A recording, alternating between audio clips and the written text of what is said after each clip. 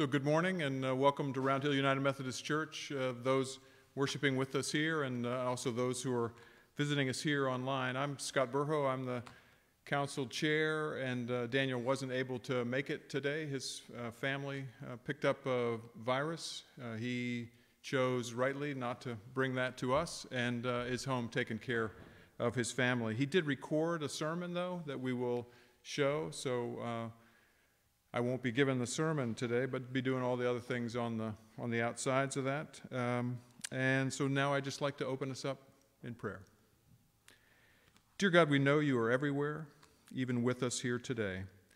And we confess we've not always acknowledged or even recognized your presence. We thank you for the many blessings we've received and the lessons from the trials we've endured. Please help us to honor your Son, Jesus, in our words and our actions. We ask a special prayer this morning for Daniel and his family. Let us worship here in a way that brings glory and praise. We ask all this in your holy name. Amen.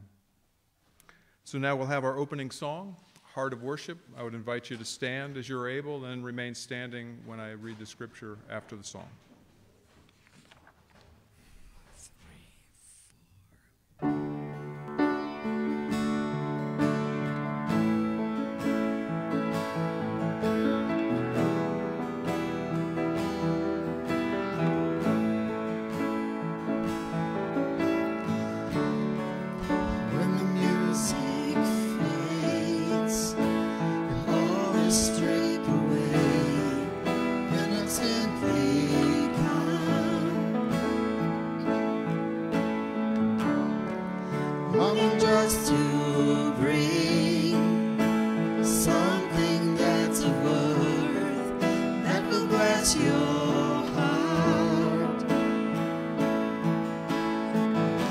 I'll bring you more than a song, for a song in itself is not what you have required. You search much deeper.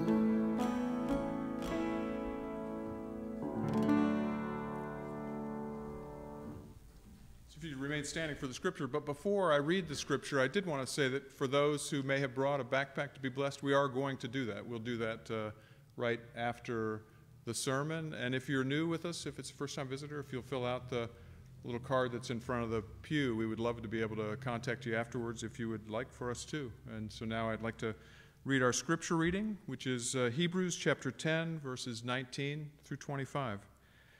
Therefore, my friends, since we have confidence to enter the sanctuary by the blood of Jesus, by the new and living way that he opened for us through the curtain, that is, through his flesh, and since we have a great priest over the house of God, let us approach with a true heart, in full assurance of faith, with our hearts sprinkled clean from an evil conscience, and our bodies washed with pure water. Let us hold fast to the confessions of our hope without wavering for he who has promised is faithful. And let us consider how to provoke one another to love and good deeds, not neglecting to meet together, as is the habit of some, but encouraging one another, and all the more as you see the day approaching. The word of God for the people of God. Please be seated. And now, hopefully, through the power of technology, Pastor Ray will give his sermon entitled No Holiness But Social Holiness. Good morning. If you're seeing this, that means that unfortunately COVID has kept me from being able to be with you this morning. Uh, but I am so glad that you are able to, to gather wherever you may be. Uh, sorry that I'm not there for all of the students and all of the staff and teachers as they get ready to head back to school. I am excited for you, and I wish you the best in the year to come. And I know uh, I look forward uh, to the blessing uh, of the backpacks that is going to be coming up soon in our service. But as we prepare for this uh, time of hearing the word, will you join me in a word of prayer? May the words of my mouth, the meditation of all of our hearts, be acceptable in thy sight, O Lord, our strength and our Redeemer. Amen. So many of us might know the famous beginning of Fresh Prince of Bel Air. Now, this is a story all about how my life got flipped, turned upside down. Well, you could go on with it if you want to. But in a way, the beginnings of Methodism could be described much of the same way. And while we often talk in Methodism all about John Wesley, the beginnings really start with the younger brother, Charles. Charles is following in older brother's footsteps as he starts to attend Christ Church in Oxford. And as he does, he starts to see some of his religious disciplines that we talked about last time as we gathered. They begin to wane you know, some of those things that his mother Susanna Wesley had instilled in him, he starts to back off from. In essence, Charles just becomes your typical college kid. Now, John, who is serving in a church by this time, notices this and he's not too pleased by it. But there's nothing really he can do at the time to change Charles's ways. One day, however, Charles comes back to his senses. He realizes the faith that he has been missing, but at this point, he's not sure how to get back to it. And so he writes older brother John for advice. Now, John at this time just so happens to be going through his own theological breakthrough. John is serving in a secluded rural area, giving him lots of time to study the mystics and he was interested in becoming something like a hermit, a monk like person who would dwell with God in solitude. But in this time of serving in this rural area, John found something important. It didn't work. And he finds that one of the most crucial elements for our spiritual growth is each other. And so he gives this advice to his brother Charles. And Charles takes the advice and he runs with it. Charles begins to meet with a good friend at school. He starts to study scripture together with him, worship together, pray together. And soon this begins to grow into a small group of friends, one that became popular, almost infamous on the campus of Oxford for their religious fervor. They were called names like the Holy Club, the Bible Moths, the Sacramentarians, and the Methodists. And, as they say, the rest is history. You know, it's kind of funny that this form of spirituality that the Wesleys tapped into, it runs so counterintuitive to our society today. We talk about our own personal salvation, our own personal Jesus. There's a whole movement going on about spiritual but not religious, which essentially is saying that I believe in something, but I don't need others for it. John Wesley vehemently disagreed with this. In fact, he said so when he was talking about the scriptures. He said, Solitary religion is not found there, that is, in the scriptures. Holy solitaries is a phrase no more consistent with the gospel than holy adulterers. The gospel of Christ knows no religion but social, no holiness but social holiness. In other words, what John is saying is that this walk that we have, this journey with God, the idea that we do it alone is simply ridiculous. And it's not something that we find in Scripture. And he has a point. If we go back and look at the earliest church, that is the church of Pentecost in Acts, we look and see how it's described. And we see that it says that they devoted each to they were devoted to each other and to the apostles' teachings, to fellowship, to breaking of bread in their homes and prayer together. That the believers held everything they had in common and sold their possessions and gave it to the poor. That every day they continued meeting in the temple courts. We find that the earliest church was all about life together. Even later, when the earliest church begins to struggle with this idea of life together, we see the author of Hebrews, as we heard read today, help remind them of who we are as a people of God. The author says, Let us consider how we may spur one another on towards love and good deeds, not giving up meeting together as the habit of some, but encouraging one another. See, Methodism, at its roots, didn't create or invent anything new or special. It just tapped into a truth that for some reason we keep forgetting about. And that truth is that we are part of each other's spiritual journey, that we need each other. We need those people who hold us up when our hearts are broken, those people who come and visit and pray with us in the ER we need those people who challenge us, who hold us ac- accountable to the path, who help us to, to stick to those disciplines that we have talked about, that we are striving for. We need those people who encourage us, that help us to feel confident that we are enough, that we are loved, that we are gifted. We need each other. Over the years, this is an idea that has been lost. So much so that even the idea of membership in a church is one that many people don't even care about anymore. Many people see membership in a church now as something like joining a social club. You can ask what's the purpose of membership, and people say, well, you get a vote in the church or you can serve on certain committees. And if that's the reason, no wonder nobody really wants to join anymore. But that's not what membership is about. In fact, when we look at that word member, we find that this word is at its heart a word that talks about how we are connected to one another, just like a member of a body is connected to other members. Members in a church, when they become a member, they make a promise to the church. And the church makes a promise back to that member that they will encourage them, that they will help them in their faith journey, that they will hold them accountable.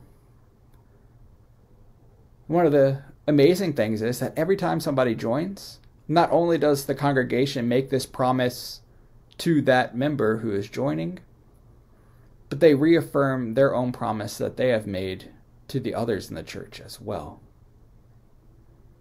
You see, this is something that is really powerful if we let it be. This idea that we can hold each other up to be the people of God, the people we're supposed to be, the people striving to love as God loves us. This idea that we are connected to each other and without each other, we are nothing.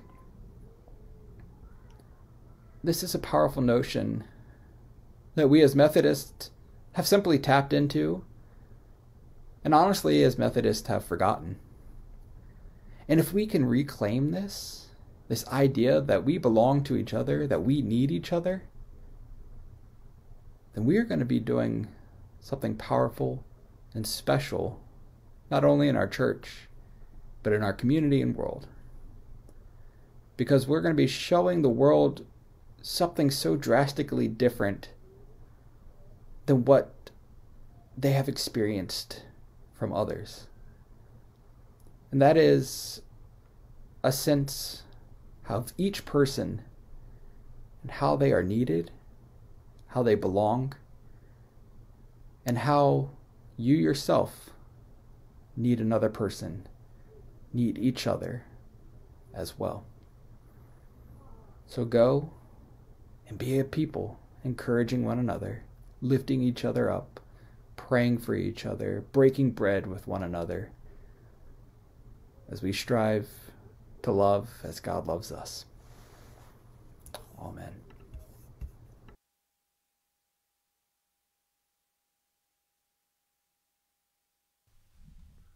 If Daniel was here, I would thank him for that uh, powerful message. Uh, and clearly, we do. And as I sat and reflected on this message myself, do need each other and rely on each other. Uh, and if you need an example of that, just being here at 9:30 and seeing the worship, every the team working together uh, to prepare and getting songs right and uh, getting the video right and all that. It, this would not happen uh, without everybody working together. And I'll give you an opportunity to demonstrate it here. We're about to do our hymn. So the hymn, the next our next hymn, will be "Blessed Be the Ties That Bind." which is number 557 in the hymnal. And please stand as you're able.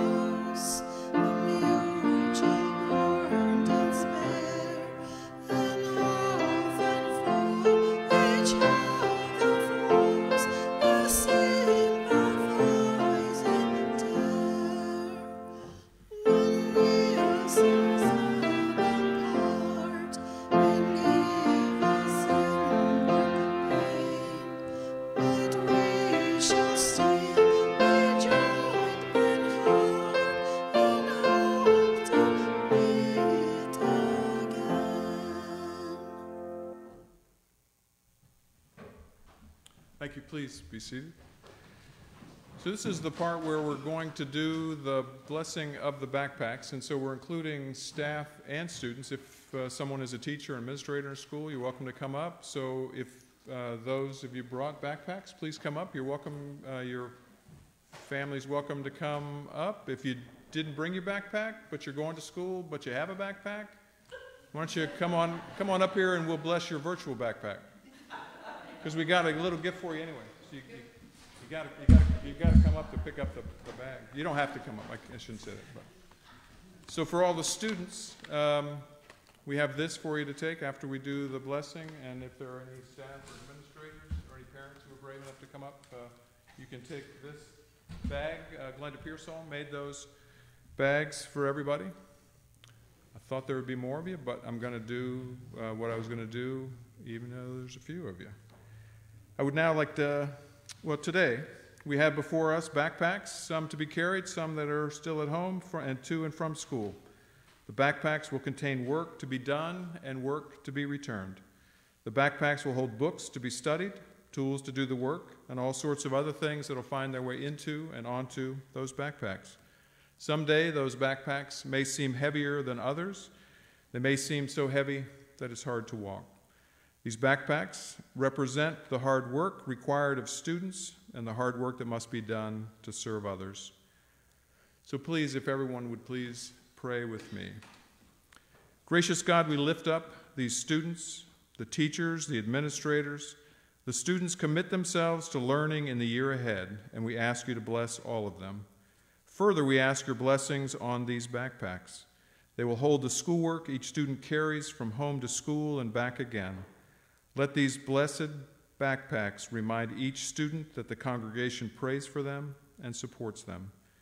We pray that the teachers and administrators will do their work with kindness, integrity, and love, and understand that each child is more important than any rule. We pray all this in the name of Jesus, who will seek to follow, who we seek to follow day by day. Amen. So thank you. Make sure you take kisses bag, students, adults, that other one. There you go. And so now we'll do prayers of the people. Now's the time for those online to be thinking about what it is that you want to put in because there's a little bit of a delay. And first, we'll take those joys, concerns, glory sightings from any of you here who may want to offer something that we should pray for. Yes. Um, a phrase, um, George and I celebrated, uh, fifty-four years of marriage this past week. Congratulations, George and Rhonda, 54 years.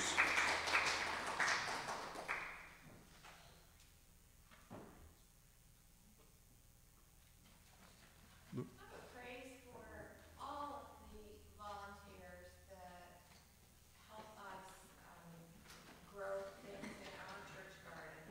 Um, We have so many people helping with harvesting and pulling weeds and building compost bins. Um, It's just amazing um, how everybody pulls together and uh, the end result, of course, is providing fresh and nutritious vegetables and fruits for the clients that come to our food pantry here at church.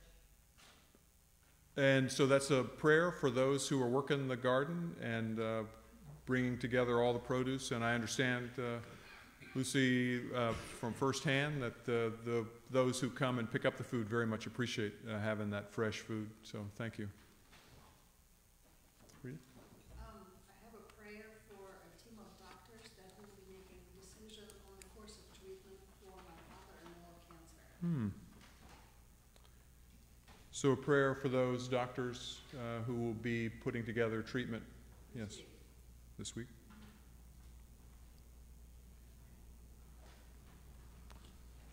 Any others? Oh, George?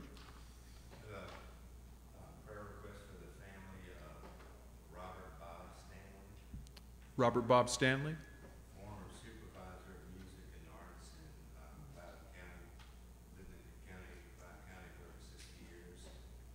Uh, He has two daughters, and uh, he passed away at ninety. Oh, no. Took uh, such personal good care of his wife, and she had dementia, was by her side for years, giving up his own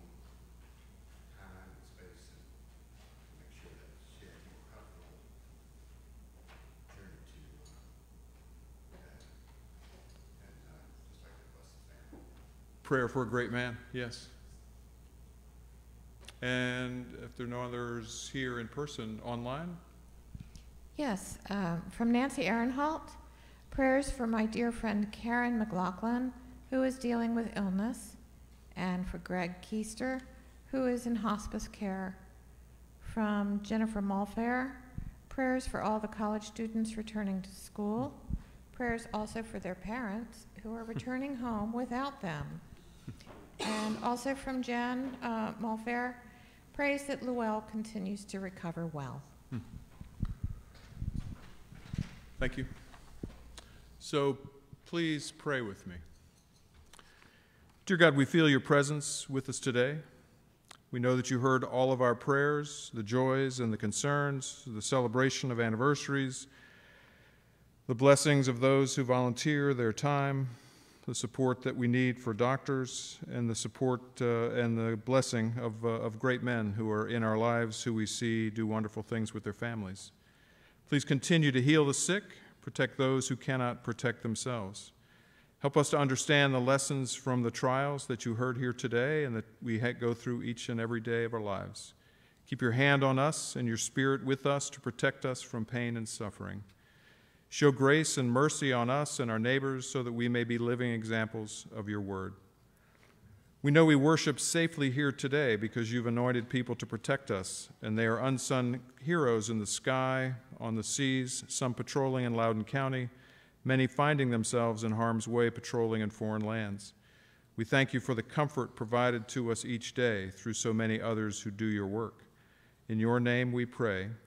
Amen.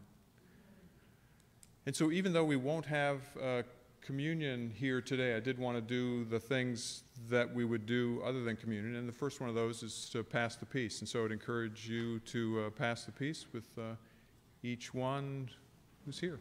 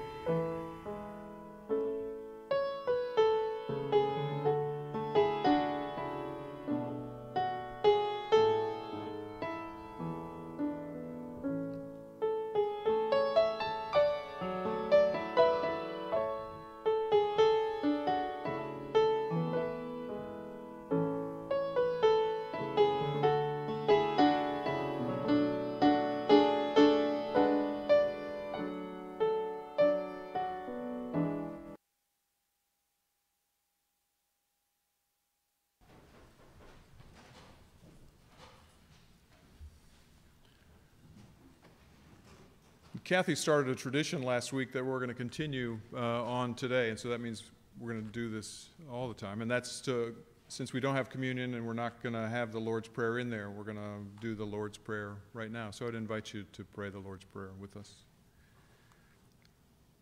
Our Father, who art in heaven, hallowed be thy name. Thy kingdom come, thy will be done, on earth as it is in heaven. Give us this day daily bread. Forgive us our trespasses, as we forgive those who trespass against us. Lead us not into temptation, deliver us from evil.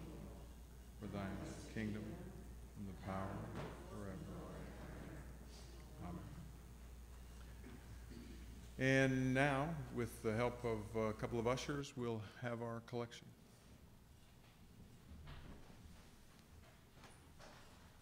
There are lots of different ways to give. One is uh, the collection plates, and the other, uh, there are some things online uh, if you prefer to do that.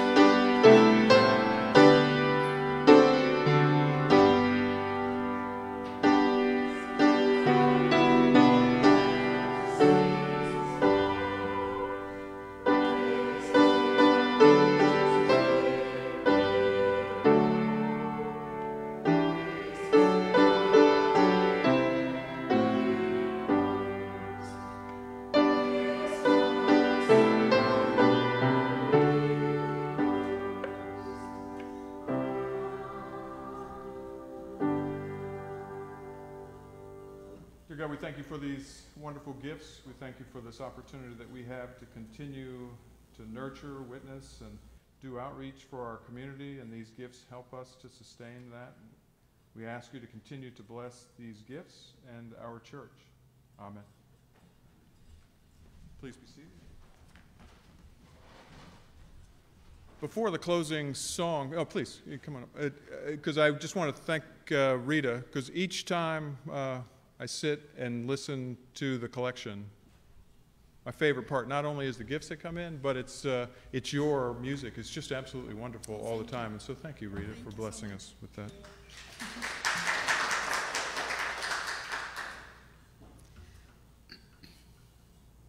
And thank you, Barnabas, for joining us, and giving us music too. So the closing song is uh, going to be Give Us Clean Hands. Please stand as you're able.